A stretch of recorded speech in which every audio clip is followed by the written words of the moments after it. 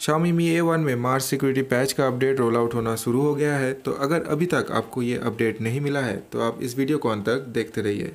और अगर अभी तक आपने मेरे चैनल को सब्सक्राइब नहीं किया है तो आप इस तरह से सब्सक्राइब कर सकते हैं और बेल आइकन को दबाना ना भूलें ताकि सारी नोटिफिकेशन आपको सबसे पहले मिल जाए। सो है गाइस मेरा नाम है अपूर्व और आप देख रहे हैं स्मैकटेक यूट्यूब चैनल और इस बात को बताते हुए मुझे बहुत ही खुशी हो रही है कि जब मैंने फेबररी सिक्योरिटी पैच अपडेट का वीडियो बनाया था, तब मैंने कहा था कि आपको गूगल सर्विस फ्रेमवर्क को क्लियर कैश क्लियर डाटा करने की ज़रूरत नहीं है। आप एक बीटा टेस्टर बन जाइए और आपको सबसे पहले जो है सारी अपडेट्स मिल जाएँगी। और इस बार भी मैंने यहाँ पर गूगल सर्विस फ्रेमवर्क को छेड़खानी नहीं की है और मुझे जो है सबसे पहले यहाँ पर अपडेट मिल चुकी है। आप भी ऐसा कर सकते हो, आपको सेटिंग्स में जाना है, फिर गूगल में, वहाँ पर सिक्योरिटी को खोज के निकालना है। सिक्योरिटी में जाने के बाद थ्री डॉट ऑप्शन में, जैसे आप हेल्प एंड फीडबैक में क्लिक करते हो, और वहाँ पर फिर से थ्री डॉट में आपको यहाँ पर view in Google Play Store का एक ऑप्शन मिलता है। आप जैसे यहाँ पर क्लिक करते हो, आपको यहाँ पर गूगल प्ले सर्विसेज़ का जो बीटा ऐप है, यहाँ पर आपको इंस्टॉल करना है, और अगर आपने करके रखा है तो उसे अपडेट करना है, और आप डायरेक्ट एक बीटा टेस्टर बनते हो, और उसके बाद सबसे पहले आपको सिक्योरिटी पैच की जो अपडेट्स है, वो मिल जाएगी बिना कोई परेशानी के। और यहाँ पर आप देख सकते हो, मैंने यहाँ इंस्टॉल करना शुरू कर दिया है।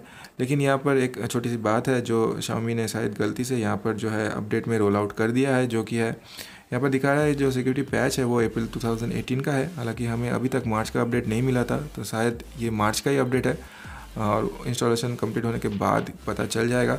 तो यहाँ पर थोड़ी सी एक गलती है जो यहाँ पर अप्रैल 2018 का यहाँ पर सिक्योरिटी पैच दिखा रहा है। तो यहाँ पर जो अपडेट हमें मिलती है, ये 440 फोर्टी का है तो लगभग इसे बड़ा अपडेट कह सकते हैं आप, क्योंकि जो फरवरी में सिक्योरिटी पैच का अपडेट मिला था, वो 89 नाइन का था तो लगभग बड़ा एक अपडेट है तो शायद बग फिक्सेस के साथ यहाँ पर परफॉर्मेंस में थोड़ी इम्प्रूवमेंट देखने के लिए मिलेगी। तो आगे वीडियो में हम लोग देखने की कोशिश करेंगे। लेकिन अगर आप लोग चाहते हो कि मैं एक डेडिकेटेड वीडियो बना दूँ परफॉर्मेंस इम्प्रूवमेंट या क्या बग फिक्सेस हुई तो आप मुझे कमेंट्स में ज़रूर बताना। और यहाँ पर जो है हमारा अपडेट यहाँ पर लगभग कंप्लीट हो चुका है। और इसके बाद सीधे हम लोग जाएँगे सेटिंग्स में और यहाँ पर देख लेंगे जो सिक्योरिटी पैच है, वो अप्रैल का है या मार्च का है। और यहाँ पर आप लोग डेट देख सकते हो, आज ही का डेट है और यहाँ पर एंड्रॉयड वर्जन अभी भी 8.0.0 है और मार्च का ये अपडेट है और बिल नंबर है 9.5.9.0 का। तो यहाँ पर परफॉर्मेंस में मुझे यहाँ पर अभी तक लगभग कुछ अपडेट यहाँ पर नहीं मिली है।